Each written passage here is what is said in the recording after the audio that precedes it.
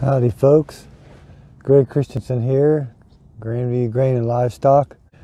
But what I wanted to show you up here was uh, this pasture is split. It's probably about 25 acres and it's split in four different quadrants. And this is the water bank, we call it, uh, tire tank. And we'll put the mineral feeder up here. This is gravel around this water bank. And then we've got a three wire fence that runs down to the perimeter fence. Three wires separate these quadrants from each other. And three wires uh, is what you're going to need if you're going to try to rotationally graze goats. Um, the sheep, you could probably manage them with one wire. Cattle, obviously one wire. Now the sheep wire needs to be about 12 inches high maybe a little lower if you've got lambs. Um, and then the cattle, of course, I like it where I can step over it. Probably for me, that's about 34, 35 inches high. Um, but I wanted to show you this uh, uh, floating brace. This is a floating brace, and you can look up floating brace there on Google, and you can see pictures of different ones. But this is one where we use a T-post, and I, I, don't think I've ever seen a picture of a T-post used as a floating brace. And we did it up here with these paddocks. Uh, really easy. It's a lot easier than drilling holes and putting your other post in. More permanent wooden post.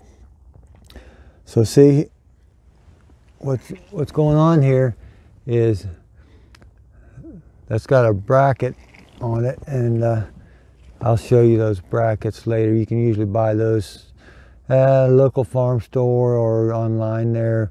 Um, maybe Kencove has them. There's probably other places that have them. And you'll hook that T-post into that bracket and it'll set down here and you'll need a, a, a rock, a board, something to keep that T-post from sliding, pushing itself down into the ground because then you're going to put this bottom wire on. It goes over to this corner post right here. And it goes over here. It goes around the end of this T-post. And in the kit that the bracket comes with you'll get that little uh, mechanism that fits on the end of the T-post. I've even just put them at the bottom of that spade you just need something where that wire won't climb up that T-post. Because after you put it on there, then you're going to twist it tight. Now, uh, you're going to want to use something that's not conductive. It's a piece of fiberglass rod here, or you could put just a regular daisy wire tightener in it. Um, and so when you tighten that up, that's going to put pressure on that and it's hard for me to explain but you'll understand it if you ever build one that that's going to shove backwards on that post there and it's going to push it against the wire.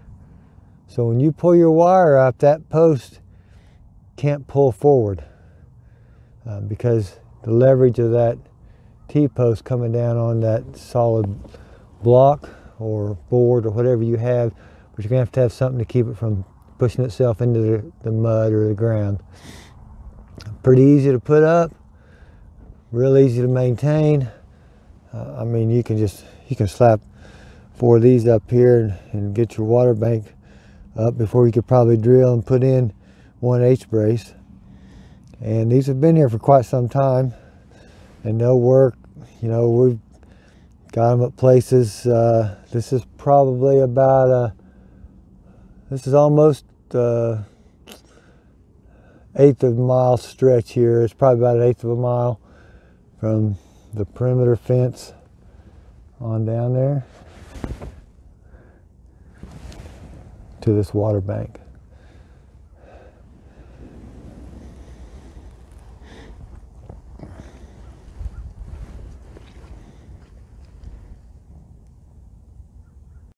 Okay, here's these Here's these uh, braces that you'd want to use on those T-post floating brace.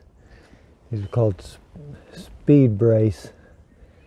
And really they're relatively cheap. I don't know if they're $20 for that package and that package has, I think it's got four of them in there complete with little bolts and the wing nuts you need. Uh, you really you only need one to make a floating brace, so you can make four of them there, five dollars a piece.